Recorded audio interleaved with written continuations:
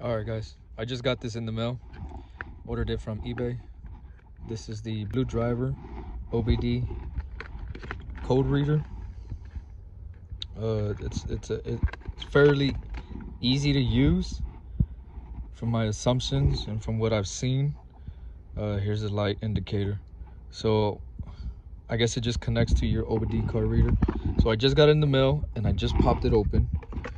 And it comes in this little package here how to get started. So start the ignition. All right let me go ahead and do that. We're using my parents jeep. Start the ignition. Plug in sensor to the obd2 port. Okay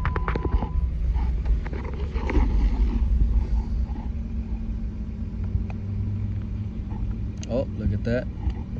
I guess that's the indicator. We are using an Apple. Okay, so it's blinking. Using Apple.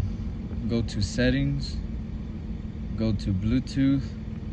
Okay, so turn on your Bluetooth. Turn on the Bluetooth. Select Blue Driver to pair sensor. Okay. So we're gonna go into settings and we're gonna pair it up, guys. That's simple. Thanks.